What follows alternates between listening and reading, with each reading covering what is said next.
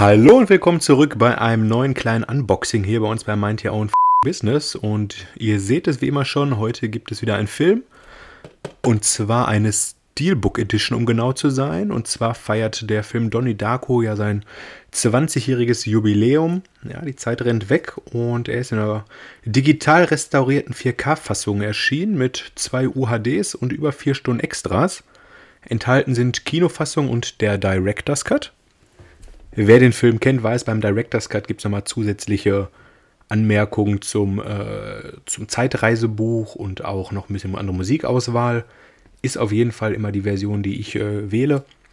Bisher hatte ich immer, mal kurz im Vergleich, dieses Steelbook mit der alten DVD, auch Director's Cut. Deutlich schwerer, ein bisschen größer. War auch prall gefüllt mit Extras damals. Hier mit einem 2-Disc-Set. Und ja, der Film hat nach den Jahren nichts an seinem Kultstatus verloren, würde ich mal sagen. Wir haben auch eine Kritik dazu jetzt jüngst endlich mal online. Ist für mich immer noch eine 10 von 10 der Film. Die Effekte sind ein bisschen gealtert, aber immer noch ein Meisterwerk, wenn man Lust hat, mal nachzudenken beim Film, würde ich meinen. Hier auf der Rückseite sehen wir nochmal, was enthalten ist. Disc 1 mit der Kinofassung, Disc 2 mit dem Director's Cut, ein paar Bilder der Schauspieler, Drew Barrymore ist dabei, Jake Gyllenhaal und hier Patrick Swayze. Für aufmerksame Zuschauer gibt es auch noch Tess Rogen, damals noch in einer etwas jüngeren Rolle. Gucken wir uns doch mal an, was hier drin enthalten ist, bevor die Welt untergeht in 28 Tagen. So, Plastik entfernt und jetzt das Wichtigste bei einem Steelbook, Mediabook, Collectors Edition, was auch immer, das FSK-Logo verschwindet. Und so wie wir es gerne haben, haben wir jetzt ein ganz cleanes Cover Nochmal im Vergleich, das war selbst bei dem alten nicht, da war hier unten noch schön ein festes Logo drauf. Das ist jetzt nicht mehr der Fall.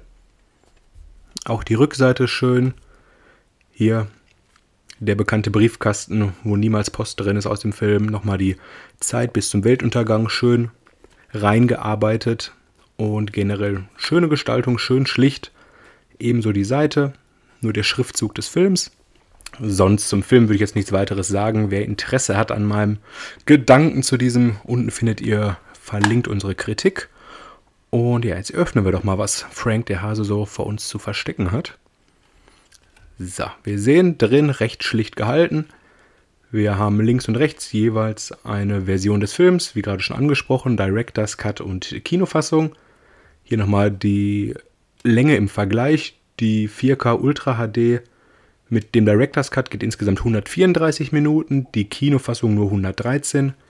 Da ist nicht so viel Input drin von Regisseur Richard Kelly, der ja quasi mit dem Director's Cut nochmal ein bisschen deutlicher gemacht hat, in welche Richtung er mit dem Film gehen möchte oder was seine Gedankenansätze da sind.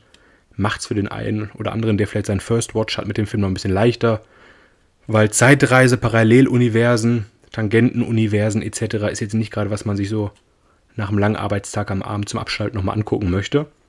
Ja, ansonsten, wenn man die Discs entfernt, sieht man im Hintergrund ja, nochmal die bekannte Kinoszene, wo Donny mit Gretchen und Frank sitzt und Tanz der Teufel zusammen guckt.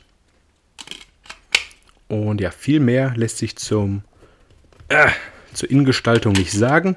Wer Lust hat auf noch mehr Verpackung und noch mehr Beilagen, der ist ganz gut bedient mit der noch erweiterten Version. Es gibt nämlich noch eine Limited Collectors Edition. Die beinhaltet nochmal deutlich mehr. Die verlinke ich euch auch mal unten. Und ja, ich kann jetzt mein altes Steelbook zur Seite legen und werde in Zukunft lieber schön auf die restaurierte 4K-Fassung zurückgreifen, denn alle Jahre wieder ist Donnie Darko ein Film, den man sich auf jeden Fall angucken kann. Oder wie seht ihr das? Ich bedanke mich, dass ihr bei diesem kleinen Review-Unboxing dabei wart und bis zum nächsten Mal hier bei Mind Your Own Business.